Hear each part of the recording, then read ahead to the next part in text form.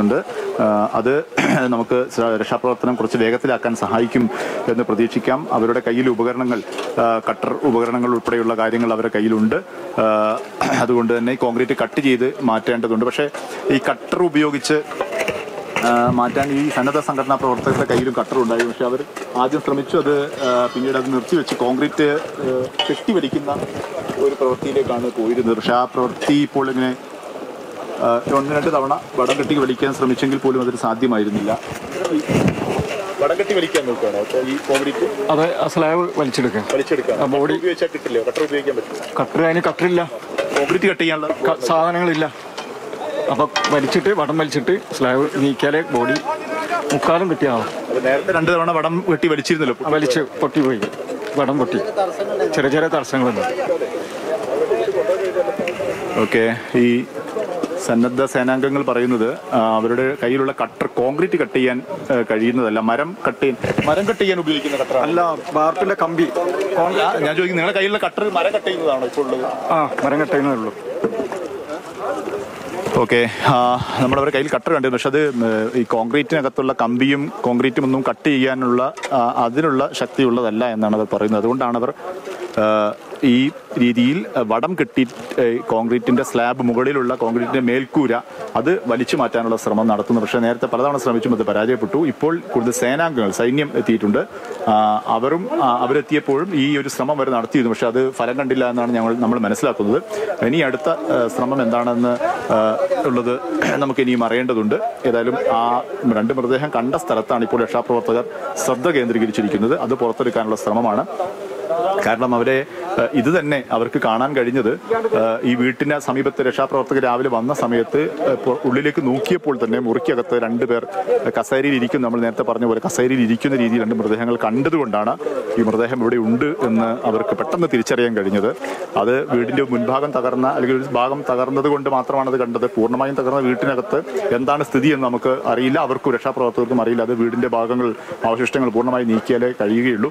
അങ്ങനെ പുറത്ത് ഈ മൃതദേഹങ്ങൾ പെട്ടെന്ന് കണ്ടതുകൊണ്ടാണ് ഇവർക്ക് ഇവിടെ ഈ വീട്ടിൽ മൃതദേഹം ഉണ്ടെന്ന് കണ്ട് തിരിച്ചറിയാൻ കഴിഞ്ഞത്. അവിടെ രക്ഷാപ്രവർത്തനം കേന്ദ്രീകരിക്കാൻ കഴിഞ്ഞിട്ടുള്ളത്. ഏതായാലും ഇപ്പോൾ കൂടുതൽ സേനാംഗങ്ങൾ കൂടി എത്തിയ സ്ഥിതിക്ക് അവരെ പുറത്തെടുക്കൽ മൃതദേഹം പുറത്തെടുക്കുന്നത് ശ്രമം വേഗത്തിലാക്കാൻ കഴിയുമെന്നാണ് പ്രതീക്ഷിക്കുന്നത്. പക്ഷേ ഇപ്പോൾ രക്ഷാപ്രവർത്തനം പറഞ്ഞതുപോലെ കോൺക്രീറ്റ് കട്ട് ചെയ്യാൻ ഇവരുടെ കയ്യിൽ ഇപ്പോൾ സംവിധാനങ്ങളില്ല.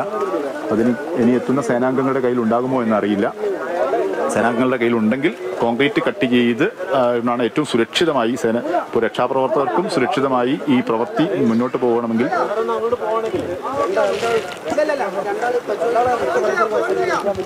ചവിട്ടി നിൽക്കുന്ന മണ്ണിനടിയിൽ ജീവന്റെ തുടിപ്പുണ്ടോ തുടിപ്പ് അവശേഷിച്ചവരുണ്ടോ എന്ന് പോലും അറിയാത്തൊരവസ്ഥയാണ് ആ പ്രദേശത്ത് നിന്ന് മനസ്സിലാവുന്നു ഷഹീദ്. കാരണം നമ്മൾ നിൽക്കുന്നത് എവിടെയാണ്? അവിടെ ശരീരഭാഗങ്ങളുണ്ടോ അവശിഷ്ടങ്ങളുണ്ടോ പ്രിയപ്പെട്ടവരുടെ സ്വപ്നങ്ങളുണ്ടോ? ആ ഭൂമിയിലാണ് നിൽക്കുന്നത്. മാനസികാവസ്ഥ ഊഹിക്കാവുന്നതേ ഉള്ളൂ ഷഹീദ്. വല്ലാത്തൊരു അന്തരീക്ഷമാണ്. ദുരന്തം കഴിഞ്ഞാൽ ആ പ്രകൃതി തന്നെ വല്ലാതെ മൂകമായി നിൽക്കുന്നൊരു അവസ്ഥ.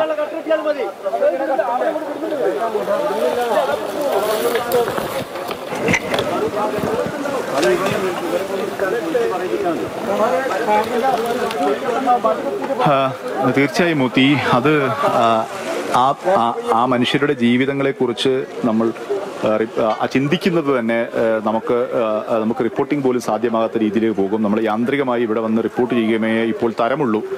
അതായത് ഇപ്പോൾ ഇവിടെ നടക്കുന്ന രക്ഷാപ്രവർത്തനങ്ങളെ യാന്ത്രികമായി വിശദീകരിക്കുക മാത്രമേ നമുക്കിപ്പോൾ ചെയ്യാൻ കഴിയുകയുള്ളൂ. കാരണം മോത്തി പറഞ്ഞതുപോലെ ആളുകളുടെ മനുഷ്യ ജീവിതങ്ങളെക്കുറിച്ച് നമ്മൾ ചിന്തിക്കുകയാണെങ്കിൽ നമ്മൾ പോലും ഹൃദയം പിടഞ്ഞു പോകുന്ന സാഹചര്യം ഉണ്ടാവും. കാരണം മനുഷ്യരെല്ലാവരും അവരുടെ സുരക്ഷിതമാണെന്ന് കരുതുന്ന സ്ഥലമാണല്ലോ നമ്മുടെ വീട്. അവിടെ എത്ര പ്രയാസപ്പെട്ട ജീവിത സാഹചര്യത്തിലും തൊഴിലിടങ്ങളിലുമൊക്കെ പോയി കഷ്ടപ്പെട്ട് ജോലി ചെയ്താലും രാത്രി വീട്ടിൽ വന്ന് വിശ്രമിച്ചാൽ മനുഷ്യരുടെ ആ- രീതിയിലുള്ള ജീവിതത്തിലെ വലിയൊരു സ്വപ്നങ്ങളൊക്കെ കിടന്നുറങ്ങുന്ന സമയത്ത് അതെല്ലാം അവരുടെ പ്രതീക്ഷകളൊക്കെ എത്തി നിൽക്കുന്ന ഒരു ഇടമാണ് ഈ വീട് എന്നുള്ളത്. ആ വീട്ടിൽ അങ്ങനെ സുരക്ഷിതമാണെന്ന് കരുതി ആണല്ലോ നമുക്ക് വീട്ടിലൊക്കെ കിടന്നുറങ്ങുക രാത്രി. അങ്ങനെ ഉറങ്ങിയ മനുഷ്യരാണ് ഒരൊറ്റ സമയത്ത് ഉരുൾപൊട്ടൽ കൊണ്ട് നാമാവേശമായത് പൂർണമായും ഇല്ലാതായത് അന്ന് രാത്രി അവരെ സംബന്ധിച്ചിടത്തോളം ആശുപത്രിയിലുള്ള ആളുകൾ ഇപ്പോൾ പരിക്കേറ്റ് കഴിയുന്നവരൊക്കെ പറയുന്നുണ്ടായിരുന്നു. വളരെ ആശങ്കയോടുകൂടി വീട്ടിലിരുന്ന ഒരു സമയം രാത്രിയോടുകൂടി മഴ ശക്തമായി ചെറിയൊരു ഉരുൾപൊട്ടലുണ്ടായി. ആ സമയത്തൊക്കെ ഈ തങ്ങളുടെ ഭാഗം സുരക്ഷിതമായിരിക്കുമെന്നൊരു പ്രതീക്ഷയായിരുന്നു അവർക്ക്.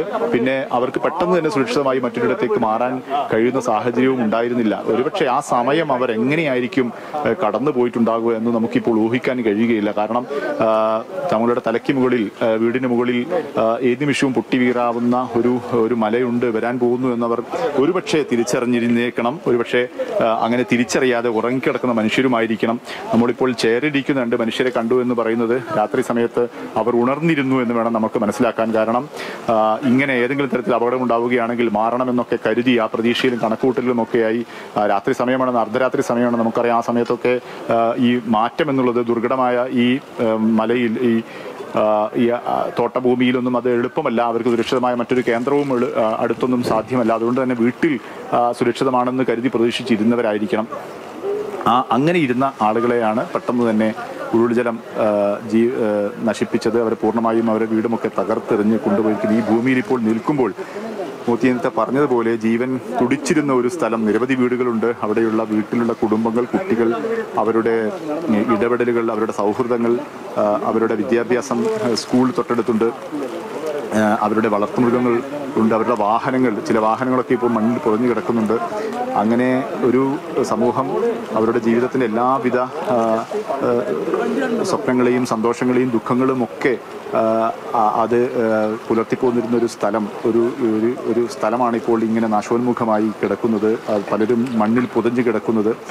ഇന്നലെ വരെ കഴിഞ്ഞ ദിവസം വരെ ജീവിതത്തെക്കുറിച്ച് വലിയ സ്വപ്നങ്ങൾ കണ്ടിരുന്ന മനുഷ്യരാണ് ഇപ്പോൾ ഈ മണ്ണിൽ പുതഞ്ഞ് വീട്ടിനകത്ത് തകർന്ന കോൺക്രീറ്റിനകത്ത് കുടുങ്ങി ജീവൻ നിശ്ചലമായി കിടക്കുന്നത് ജീവൻ നഷ്ടപ്പെട്ട് കിടക്കുന്നത് എന്നുള്ളത് വളരെ വളരെ ദുഃഖകരമായ സങ്കടകരമായ ഒരു കാഴ്ച ആണ്. കാഴ്ച മാത്രം ആണ്. അങ്ങനെ വേദനയോടുകൂടി ഉള്ളിലഞ്ഞുകൊണ്ട് മാത്രമേ നമുക്ക് ഈ കാര്യങ്ങളൊക്കെ പറയാൻ കഴിയുന്നുള്ളൂ എന്നുള്ളത് ആണ്. പക്ഷേ ഈ സമയത്ത് നമുക്ക് ഇവരെ രക്ഷിക്കുക അല്ലെങ്കിൽ ഇവരെ പുറത്തെടുക്കുക എന്നുള്ളതാണ് കാരണം.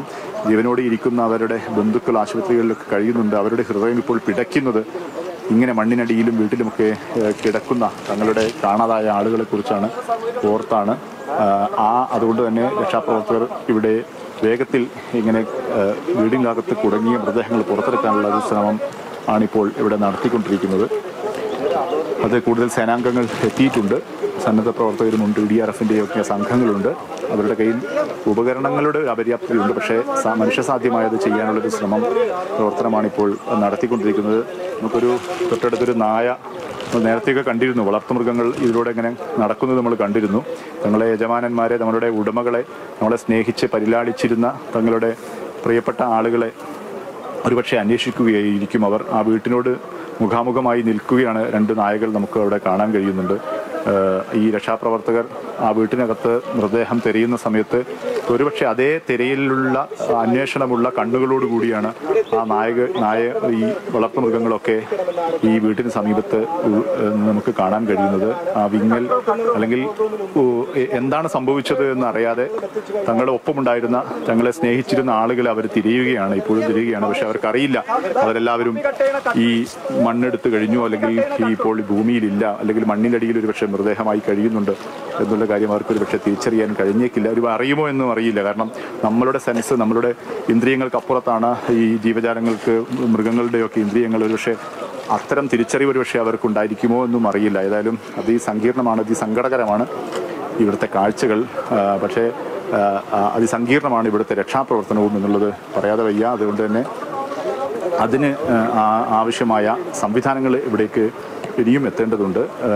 രക്ഷാപ്രവർത്തകർ ഇവിടെ പരിമിതികൾക്കുള്ളിൽ നിന്നും രക്ഷാപ്രവർത്തനം എങ്ങനെ സാധ്യമാകുന്നു എന്നുള്ള സാധ്യമാക്കാൻ കഴിയുമോ എന്നുള്ള അന്വേഷണത്തിലാണ്.